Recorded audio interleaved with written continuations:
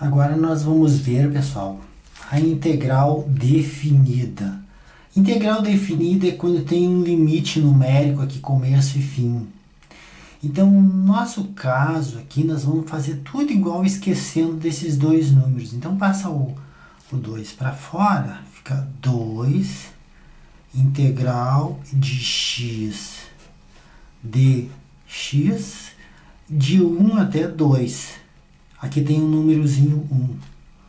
Agora, resolvendo aquilo que a gente já tinha visto, porque a gente está enxergando que isso aqui é o caso, visivelmente, o caso integral de x na p de x, que será x na p mais 1 sobre p mais 1 mais a constante, então, nós estamos vendo que esse caso aqui, ó,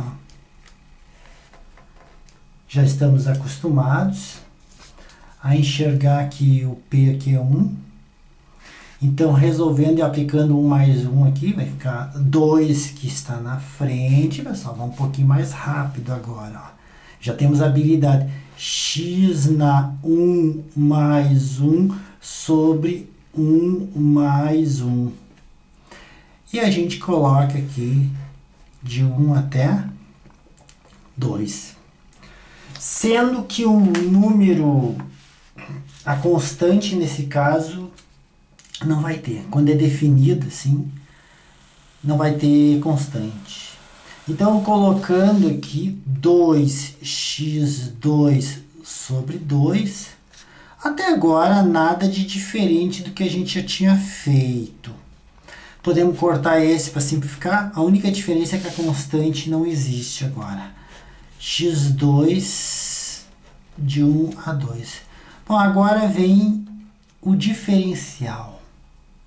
Nós temos que fazer um cálculo aqui.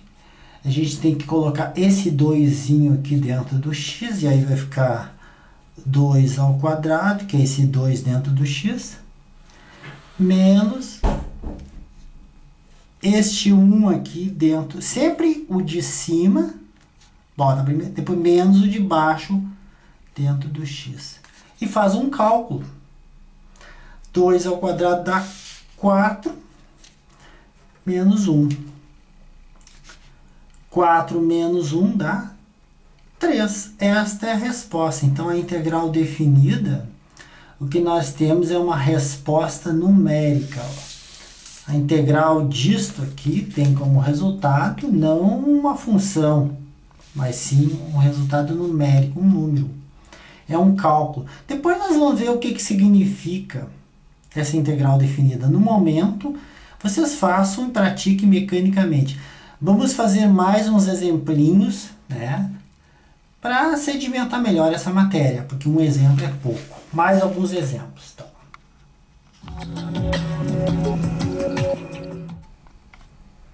Bom, essa integral também é definida. Então nós vamos resolver ela esquecendo que é definida e esses números a gente só copia as limitações. Passa o 2 para fora. 2, eu vou ir um pouquinho mais rápido porque eu acho que já estamos com uma certa habilidade. Ó.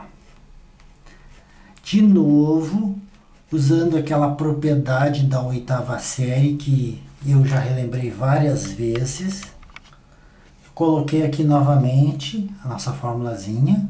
Então, vamos copiar o número 2, integral de 1 a 4, x, quando não tem nada aqui, umzinho, aqui é 2, 1 sobre 2 de x. Apliquei a nossa oitava série aqui. Só apliquei isso. Agora, nós vamos ver que nós nos enquadramos naquele caso o caso que nós enquadramos e coloquei aqui embaixo. Então, aplicando de novo, vamos lá, 2, né, x na 1 meio mais 1 sobre 1 meio mais 1. Aqui não tem constante, porque ela é definida. Colocamos a definição de 1 até 4, aqui nesse colchete. Executando essa soma aqui, ó, eu já tenho feito várias vezes que a gente tira o mínimo múltiplo comum, divide por 2, dá 1, dá 1, mais divide por 1, 2, dá 3 sobre 2. Então, nós temos 2x na 3 sobre 2 dividido por 3 sobre 2, porque é o mesmo número. De 1 a 4. Passamos invertido isso aqui. O 2 a gente copia e fica... Então, invertendo esse de baixo, fica 2, que não se inverte, 2 terços.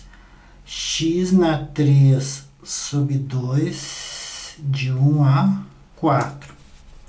Ora, aqui 2 vezes 2 dá 4, e aqui quando não tem nada tem umzinho invisível, vai dar 3. Este aqui, usando aquela nossa propriedadezinha, raiz de enésima de A na P, que é A, P sobre N, usando essa propriedadezinha aqui, né? Nós colocaremos raiz de x na terceira de 1 a 4. Perfeito.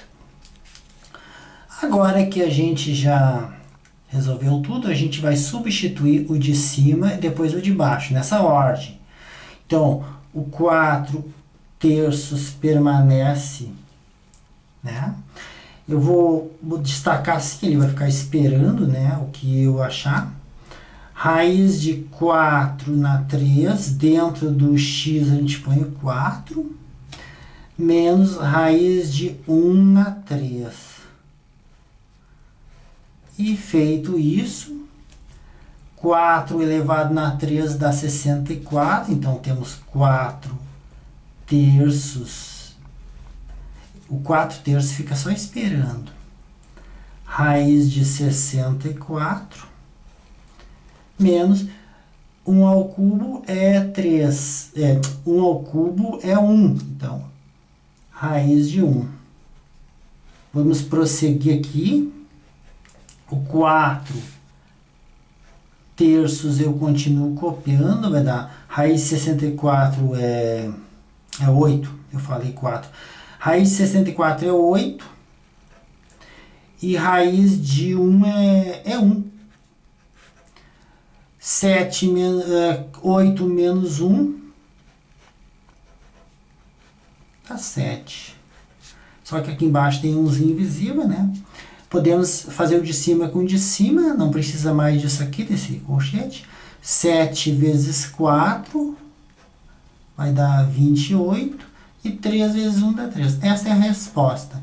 Então vocês viram, o cálculo se tornou um pouquinho maçante por causa da base o exercício tornou um pouquinho maçante por causa dos cálculos né, que a gente teve que fazer à mão. O professor não gosta que use calculadora por causa do arredondamento, eles gostam que use, que faça os cálculos mesmo. Então, por isso que o cálculo ficou um pouquinho mais trabalhoso.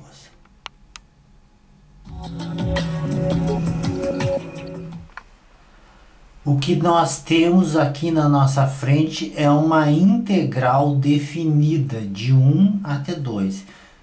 A forma como nós vamos resolver isso é idêntica ao anterior, a indefinida, quando não tinha essas limitações numéricas. Inicialmente esse 4 passa para fora, então copiando tudo, 4 integral definida de 1 a 2 x2 dx. Se eu comparar bem o que eu tenho na minha frente agora, colocando aqui, eu coloquei aqui embaixo né, a situação que eu me enquadrei. Eu tenho x na P, e o P aqui é 2, ficará 2 mais 1 sobre 2 mais 1. A constante, nesse caso, eu não vou ter porque ela é definida. Integral definida não se bota a constante. Então, fazendo, né, como vai ficar o 4 continua aqui.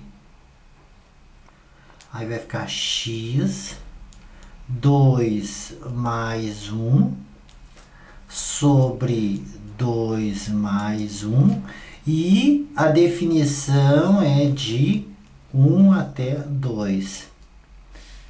Bom, agora resolvendo, 2 mais 1 é 3, então vamos colocar 4x3 sobre 3 de 1 a 2. Ah, agora não tem constante. Fiz tudo igual, só a única diferença é que eu coloquei as limitações aqui. A definição da integral, de 1 a 2. Substitui primeiro 2 dentro do x.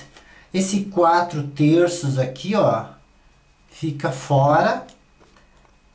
4 terços, eu vou abrir um colchete aqui. E vou colocar dentro do x o 2, vai ficar 2 ao cubo, sim, porque dentro do, do o 2 ficou dentro de x, menos agora o de baixo, 1 ao cubo. E assim eu estou calculando o valor dessa integral. Substituindo primeiro o 2 dentro do x e depois o 1, fazendo um menos o outro.